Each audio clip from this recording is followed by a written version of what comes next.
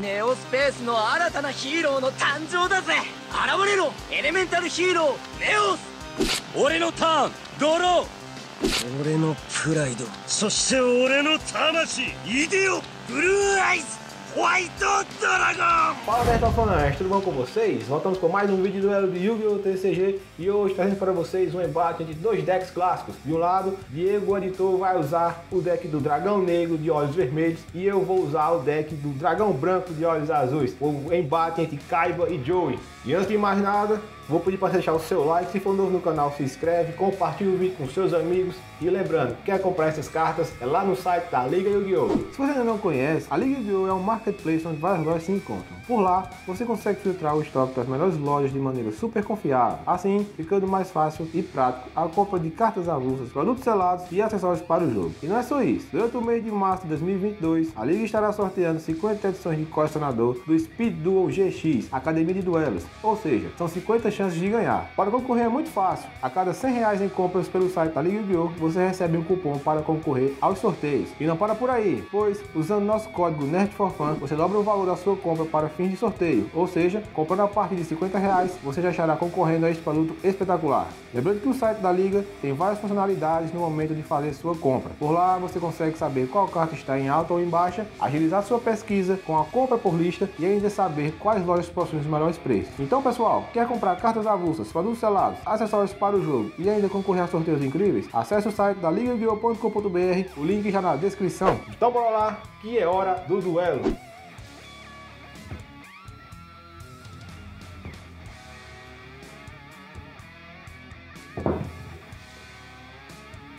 Você começa. Ok.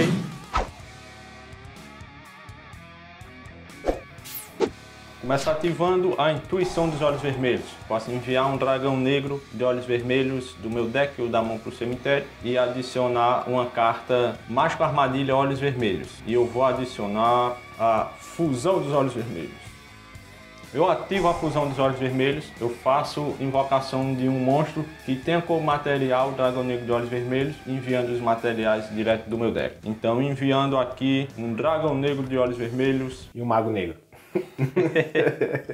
E um monstro dragão de nível 6, eu faço a invocação do Meteor Black Comet Dragon.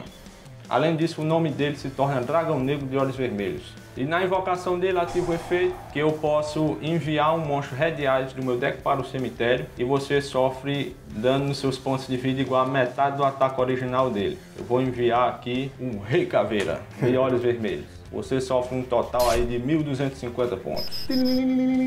Vou setar uma carta e encerro meu turno. Ok, minha vez. Bom, eu vou fazer a invocação normal do Jack Black aqui. The King of D.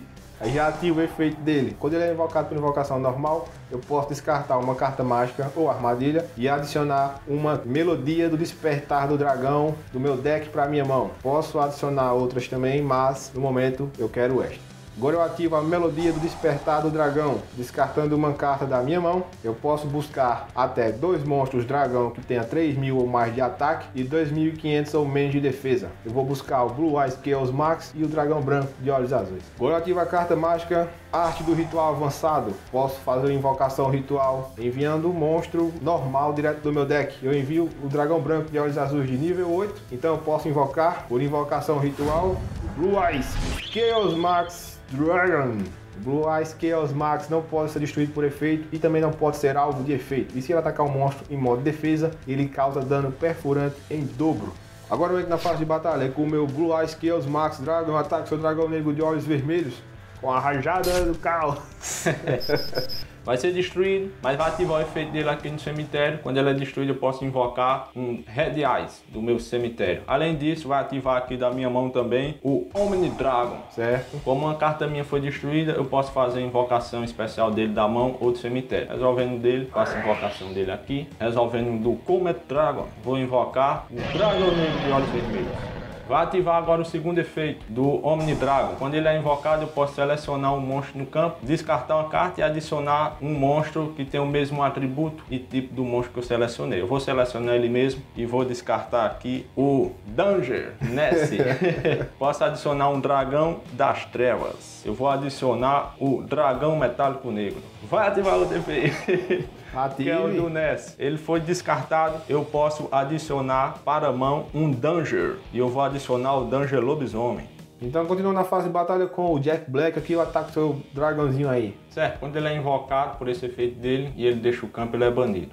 Beleza, eu encerro meu turno. E na minha fez, vai ativar aqui no meu cemitério a Pedra Branca dos Antigos. No final do turno em que ela é enviada ao cemitério, eu posso invocar o monstro Olhos Azuis direto do meu deck. Certo, em resposta, eu vou ativar aqui então o Retorno dos Olhos Vermelhos. Já ativo também o efeito, né? Sim. Que eu posso, se eu controlar um monstro de olhos vermelhos, eu posso invocar um monstro normal do meu cemitério. Ok? Resolvendo ela primeiro, eu invoco aqui o Rei Caveira de Olhos Vermelhos. Beleza, resolvendo a minha, eu faço a invocação especial do Espírito Dragão de Branco. Aí vai ativar aqui o efeito dele. Quando ele é invocado por invocação normal ou especial, posso fazer alguma carta mágica ou armadilha que o oponente controla e bani-la. Então, tchau. Pode seguir. Faço a invocação normal do Dragão Metálico Negro. Faço a invocação Link 1, um monstro de level 1. Eu invoco o Link Caribou. Vai ativar aqui no cemitério o efeito do Dragão Metálico Negro. Quando ele é enviado do campo ao cemitério, eu posso adicionar qualquer carta Red Eyes do deck para a mão. E eu vou adicionar aqui o Dragão Metálico das Trevas de Olhos Vermelhos. Vai banindo o monstro dragão que eu controlo, eu posso fazer a invocação do Dragão Metálico das Trevas de Olhos Vermelhos. Eu ativo o efeito dele, que uma vez por turno eu posso invocar um dragão da minha mão ou do meu cemitério. Vou invocar aqui do cemitério o Dragão Metálico Negro. Faço outra invocação Link 1, outro Link Caribou.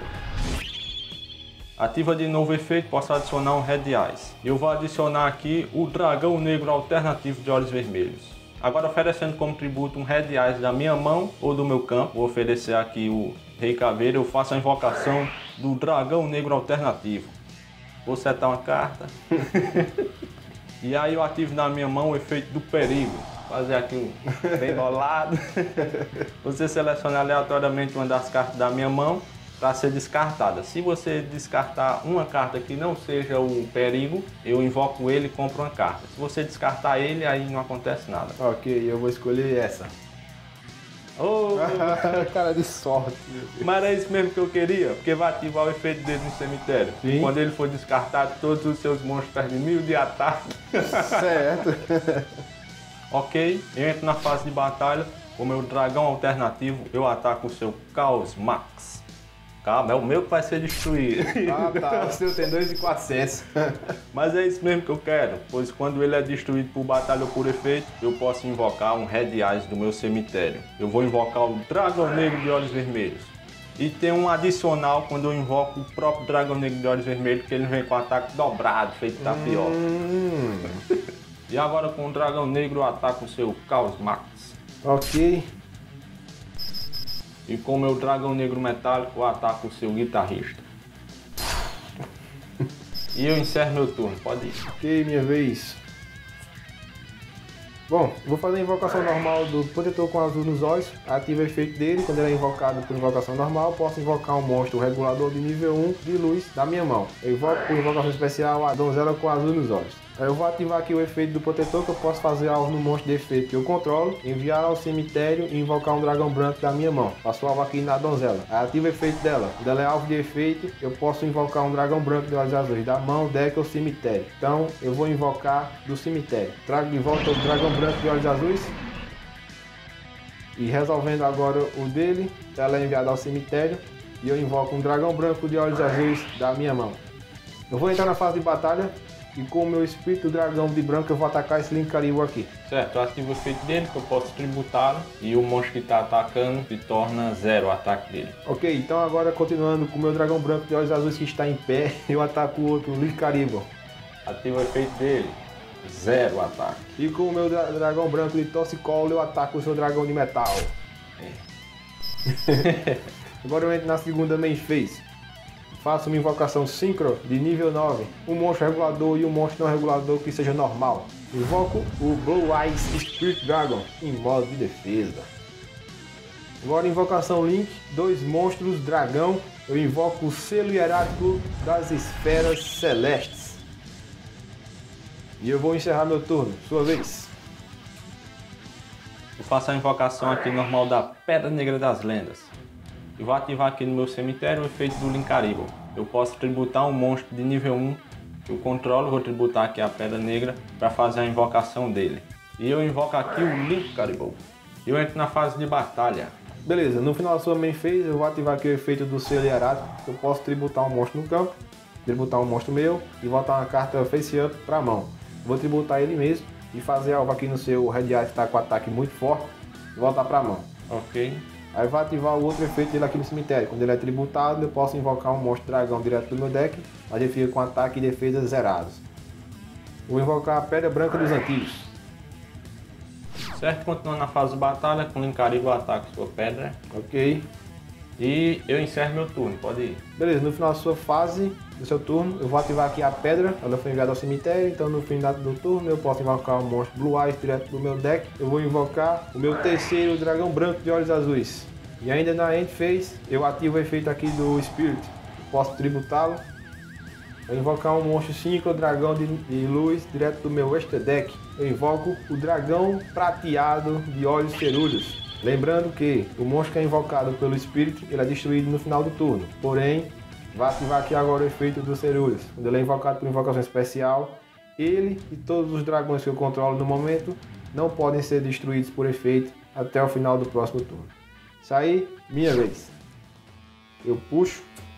Standby fez, ativa efeito dos cerúleos, que eu posso invocar um monstro dragão normal do meu cemitério. Eu vou invocar o espírito dragão de branco, pois ele é considerado um monstro normal quando está no cemitério.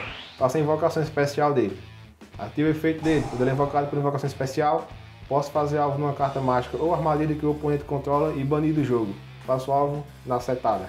Certo, em resposta eu vou ativar aqui a Fusão Necron. Banindo aqui do meu cemitério um monstro normal arquidemônio do meu cemitério, lembrando que os monstros Gemini no campo ou no cemitério eles são considerados monstros normais. E também um dragão normal olhos vermelhos, é um monstro Gemini também, um dragão meteoro. Eu faço a invocação do arquidemônio dragão caveira negro. Ok, main fez um. Invocação normal do protetor com azul nos olhos. Ativa o efeito dele, já explicado. Faço invocação da pedra branca das lendas. Agora, enviando os dois para o cemitério, faço invocação Link 2. Dois monstros do atributo luz. Eu invoco o Hip Hoshinigan. Quando ele está no campo, todos os monstros de luz ganham 500 pontos de ataque e os monstros de trevas perdem 400 pontos de ataque. Aqui no meu cemitério, ativaria o efeito da pedra, porém ela não se resolve, pois eu não tenho mais dragão branco de olhos azuis para ser buscado. Passo o meu dragão cerúleos para o modo de ataque. Bom, eu vou entrar na fase de batalha e com o Hip Hoshinigan eu vou atacar o Link Karibo. É, eu ativo o efeito dele, o ataque do Hip Roshinin se torna zero. Ok, então continuando a minha fase de batalha, eu vou atacar o seu dragãozão aí com o meu Olhos Cerúleos, que tá com 3.000 e o seu tá com 2.800. Agora ataque direto com o dragão branco de olhos azuis e com o meu espírito dragão de branco. Ah não, já... Já foi. ai, ai. Então é isso aí pessoal, chegamos ao final de mais um vídeo de duelo, espero que vocês tenham gostado aqui do nosso duelo for clássico. Já peço mais uma vez para você deixar o seu like se for novo no canal, aproveita, se inscreve e compartilha aí com seus amigos que também curtem o velho e bom for. Lembrando, quer comprar cartas? Ligue yu-gi-oh.com.br com o nosso código NERDFORFUN. Não se esqueça no final, o que importa é a diversão. Até o próximo vídeo e valeu!